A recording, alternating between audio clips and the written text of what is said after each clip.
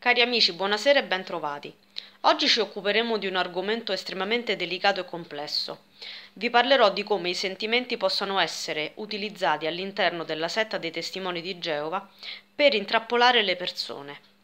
Per fare questo però dobbiamo fare un passo indietro e dobbiamo fare una piccola digressione su alcuni concetti di psicologia sociale che saranno necessari per riuscire a capire tutto il discorso che arriverà dopo. Allora, partiamo con il concetto di gruppo sociale.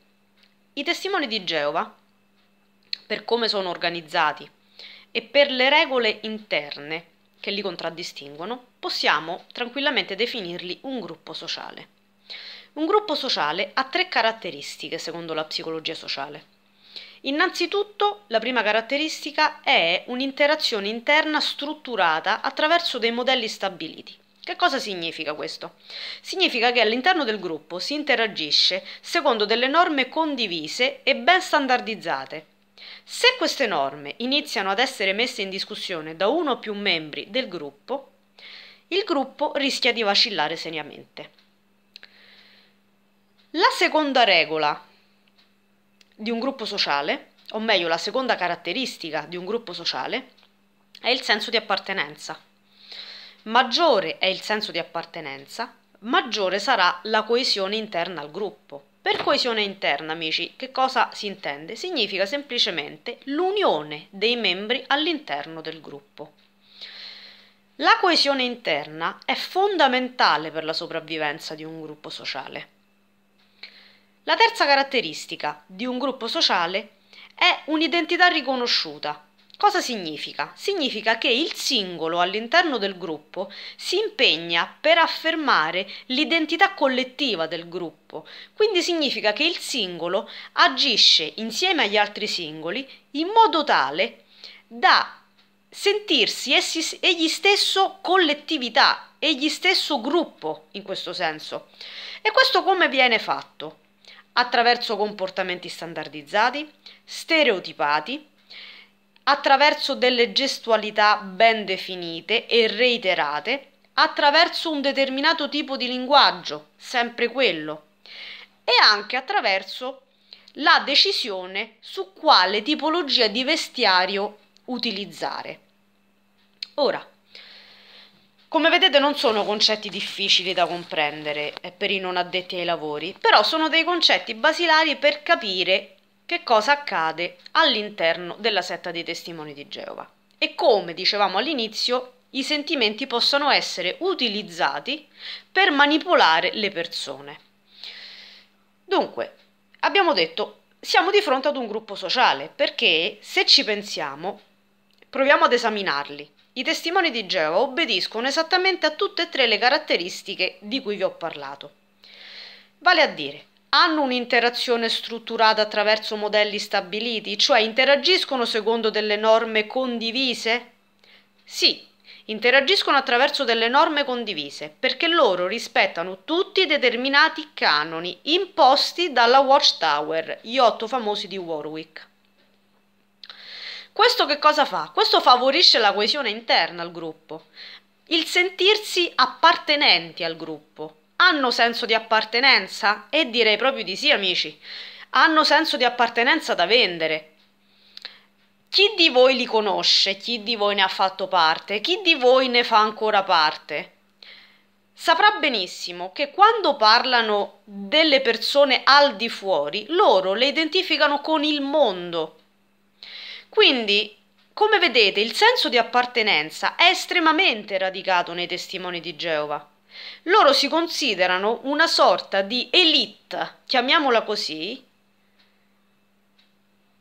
privilegiata agli occhi di Dio, tant'è vero che sono convinti che nel momento in cui ci sarà Armageddon si salveranno solo loro.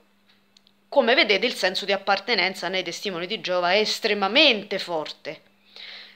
Tant'è vero che hanno anche la terza caratteristica di cui abbiamo parlato, cioè un'identità riconosciuta. L'identità del singolo è identità del gruppo. Usano lo stesso linguaggio, ebbene sì, se ne avete fatto parte, se li conoscete, vi renderete conto che dicono tutti esattamente le stesse frasi. Tutti dicono le stesse cose perché sono quelle stesse cose che vengono ripetute all'infinito, tanto da penetrare nel cervello e da renderli convinti che quelle cose sono reali e appartengono solo a loro come gruppo elitario. Hanno un codice di vestiario, ebbene sì. Tutti voi potete constatarlo questo. Gonna per la donna, giacca e cravatta per l'uomo, taglio di capelli di un certo tipo per l'uomo. Quindi hanno un linguaggio, degli atteggiamenti, dei comportamenti e anche esteriormente il loro vestiario li contraddistingue come gruppo. Quindi possiamo dire, dopo questa brevissima analisi eh, in cui ci viene in aiuto appunto un po' di psicologia sociale, che i testimoni di Geova sono un gruppo sociale e come tale li possiamo identificare. Detto ciò, io mi voglio concentrare su una cosa, o meglio su una caratteristica dei gruppi sociali, e in questo caso una loro caratteristica anche, la coesione interna. Vedete, la coesione interna, cioè l'unione interna al gruppo, serve per fare in modo che il gruppo non si disgreghi per fare in modo che il gruppo non vada in crisi, perché se il gruppo entra in crisi si rischia che il gruppo salti, semplicemente. Come si fa a mantenere un elevato livello di coesione interna? Semplicissimo, signori. Si utilizzano gli stessi metodi che si utilizzano anche in alcune tipologie di mafie. Voi direte cosa c'entra? Ve lo spiego subito. Molte mafie si reggono a livello di coesione interna, quindi tradotto non si ammazzano tra di loro, solamente grazie a legami affettivi e di sangue. Molte mafie si reggono attraverso matrimoni organizzati tra i figli dei vari membri del clan di importanza radicale. Tutto ciò fa in modo che il legame affettivo faccia da impedimento alla distruzione del gruppo. Questo come si può tradurre nel mondo dei testimoni di Geova? Ora ve lo spiego. I legami affettivi all'interno dei testimoni di Geova devono essere stabiliti solo all'interno della setta. Questo cosa significa? Questo significa che se una persona, testimone di Geova, decide di frequentare una persona non testimone di Geova, e parlo di rapporto sentimentale ovviamente in questi casi, questa persona non avrà molta libertà, anzi non l'avrà per nulla la libertà di fare questo tipo di discorso nella sua vita. Perché? Dovete sapere che nei testimoni di Geova esiste una cosa che si chiama segnatura. Cos'è la segnatura? La segnatura è eh, un provvedimento attraverso il quale quando una persona fa delle cose che vengono reputate sbagliate, ma non ancora passibili di comitato giudiziario e quindi non ancora passibili di disassociazione, si può praticare appunto la segnatura. Diciamo che la segnatura è come nel calcio il cartellino giallo, è l'anticamera della disassociazione che, sempre facendo un paragone calcistico, equivale al cartellino rosso. Perché? Se questa persona decide di frequentare una persona che non è testimone di Geova, si può mettere in atto la segnatura. La segnatura consiste in un discorso che viene fatto durante un'adunanza nella sala del regno e in questo discorso, tranne in rari casi in cui si pronuncia il nome, ma quasi mai si pronuncia il nome della persona a cui è riferito, si eh, metterà in guardia l'intera congregazione da certi tipi di comportamento. In questo caso parliamo appunto del frequentare una persona esterna ai testimoni di Geova. Quindi di conseguenza si metterà l'intera congregazione in guardia dai rischi del frequentare una persona esterna. In questo modo si farà comprendere che all'interno della congregazione c'è un fratello segnato. Cosa significa essere segnati? Significa una cosa semplicissima. Significa che si possono intrattenere con gli altri testimoni di Geova dei rapporti di tipo teocratico, quindi finalizzati allo studio eh, delle varie pubblicazioni, al servizio di campo e a tutto ciò che riguarda la parte teocratica, ma non si potranno continuare ad avere con quella persona che è segnata dei rapporti a fini di svago, come dicono loro. Quindi, se vuoi uscire con un segnato e andare a mangiarti una pizza, non lo devi fare. Ora voi mi direte, ma se loro non dicono il nome del segnato il più delle volte, come si fa a capire chi è il segnato? In questo caso capire chi è il segnato non è difficile perché è la persona che ogni volta che verrà invitata a fini di svago a sua personale responsabilità dovrà dire di no. Ecco, quindi alla fine lo si capirà. Ora, detto ciò, quindi spiegata eh, in termini abbastanza semplici per chi non la conosce che cos'è la segnatura, io vi voglio parlare più approfonditamente di quelli che sono i provvedimenti nel caso in cui si decida di frequentare una persona esterna ai testimoni di Geova. A questo proposito ho a disposizione mm, un breve stralcio del cosiddetto KS. Per chi non lo conosce, il KS, sigla chiaramente acronimo dall'inglese, è mm, il libro cosiddetto segreto degli anziani. Questo libro, che si intitola Pasce del Gregge, non è nient'altro che un manuale destinato solo ed esclusivamente agli anziani delle congregazioni, che stabilisce le regole da seguire caso per caso per quanto riguarda la gestione di tutto ciò che riguarda la congregazione. Io a questo proposito vi voglio leggere degli stralci presi dal capitolo 12, paragrafi 77, 79 e 80. Leggo letteralmente. Se un cristiano battezzato frequenta un non testimone, gli anziani dovranno prima dargli consigli e cercare di aiutarlo. Se nonostante i ripetuti consigli la persona continua ad ignorare i principi biblici, il corpo degli anziani può decidere di pronunciare un discorso per mettere in guardia la congregazione. Aggiungo io la famosa segnatura di cui parlavamo poco fa. Se la, se la, persona frequenta un proclamatore non battezzato, può non essere necessario pronunciare il discorso. Allora, partiamo con ordine. Gli anziani dovranno prima dargli consigli e cercare di aiutarlo. Cosa significa letteralmente? I consigli degli anziani in questo caso consistono nel far capire alla persona che non è il caso che continui a frequentare la persona esterna. Semplicemente sono questi i consigli, non è che c'è altro, signori. Quindi o stai dentro o stai fuori con la persona che ti piace. Il discorso è quello. C'è poco da consigliare, ecco. Messo così sembra che chissà quali siano, in realtà sono questi, o dentro o fuori. Se nonostante i ripetuti consigli la persona continua a ignorare i principi biblici, il corpo degli anziani può decidere di pronunciare un discorso per mettere in guardia la congregazione. Qui, nel caso in cui tu che frequenti la persona esterna, dici no, io voglio continuare a frequentarla, quella persona mi piace, eccetera, eccetera, a quel punto avviene la segnatura, il famoso discorso di cui sopra. C'è un ma e qui già iniziamo a capire come stanno le cose. Se la persona, continuo a leggere sempre dal KS, frequenta un proclamatore non battezzato, può non essere necessario pronunciare il discorso.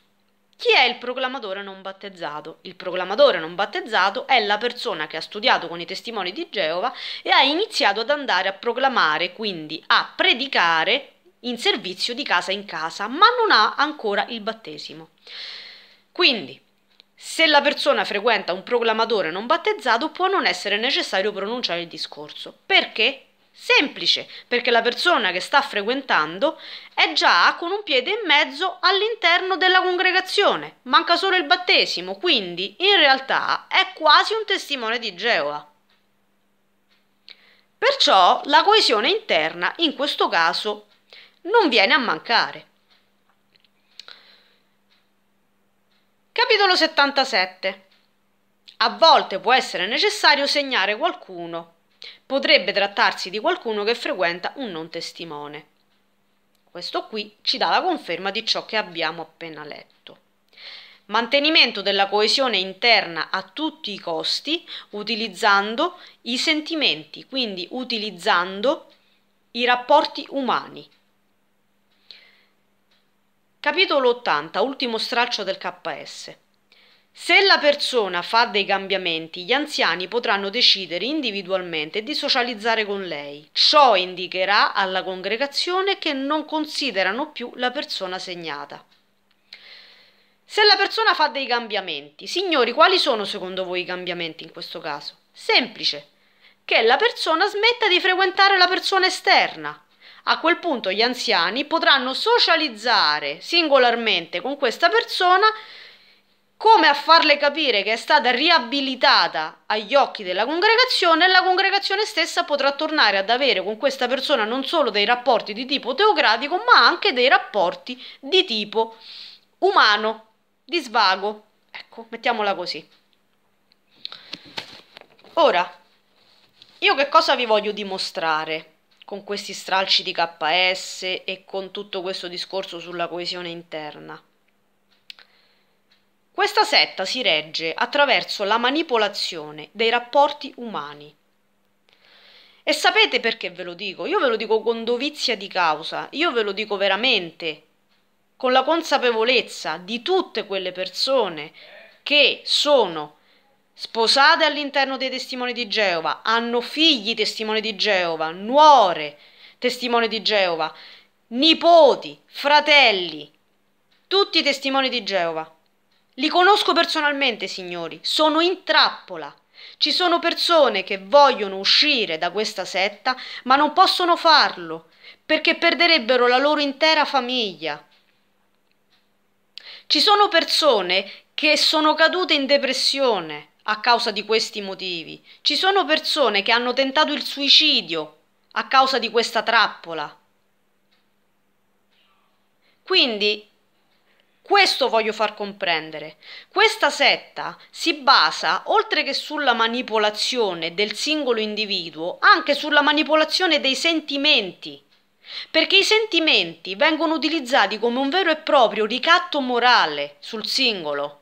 Se tu esci da lì, perdi tua moglie, ti salta il matrimonio. Se tu esci da lì, non ti faranno vedere i tuoi nipoti se sei già nonno. Se tu esci da lì, tuo fratello, tua sorella non ti guarderanno più in faccia. È libertà questa? Tutte le volte che loro dicono la solita frase si è liberi di entrare ed uscire, secondo voi è libertà questa, sapendo che uscendo di lì si perde tutta la propria famiglia? E mi limito a parlare di famiglia, non voglio parlare anche degli amici, perché uscendo da lì si perdono anche tutti gli amici. Ma io voglio limitarmi a parlare dei sentimenti quelli più stretti che si hanno nella vita, quelli con la propria famiglia.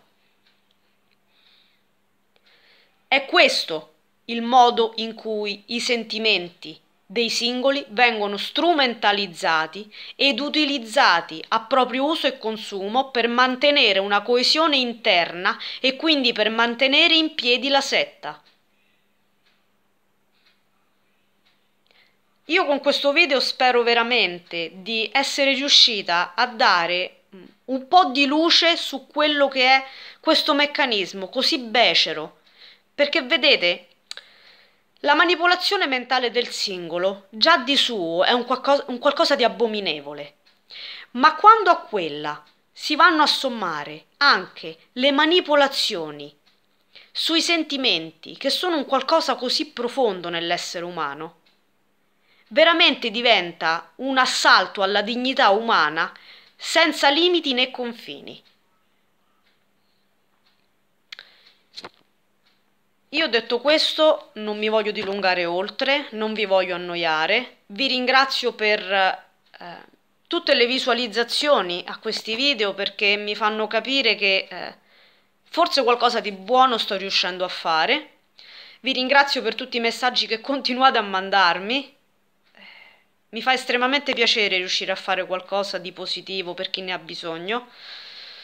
A voi che siete dentro e vi sentite in trappola vi dico mh, mm, coraggio, tanto coraggio perché se ne può uscire. Eh, bisogna cercare la strada per farlo. Si può riuscire a fare qualcosa, per quanto possa sembrare complicato, ma qualcosa si riesce a fare. Nei prossimi video cercherò di, mh, mm, di parlare approfonditamente anche eh, di tutto mh, mm, questo discorso che c'è dietro, di tutta la sofferenza dei singoli individui. Perché vedete, mh, mm, qui non si tratta di dire Vabbè, ok, hanno scelto loro di entrare, problema loro. Ho sentito anche questo. È un discorso che umanamente, quando non si conosce questa setta, può anche essere accettabile. Ma se si conosce tutto ciò che c'è dietro, questo è un discorso che perde significato, perché in realtà ci si rende conto di quanto questa setta renda le persone, oltre che vittime, delle vere e proprie, dei veri e propri individui intrappolati in una gabbia. E quando si sta in una gabbia, la gabbia può essere dorata quanto volete, e questa neanche lo è. Ma sempre gabbia rimane. Io con questo vi saluto, vi ringrazio ancora, ribadisco, spero di riuscire a fare anche se poco qualcosa di importante per chi ne ha bisogno e per chi sta soffrendo a causa di questa setta e delle sue malefatte. Detto ciò, vi do una buona serata nella pace del Signore.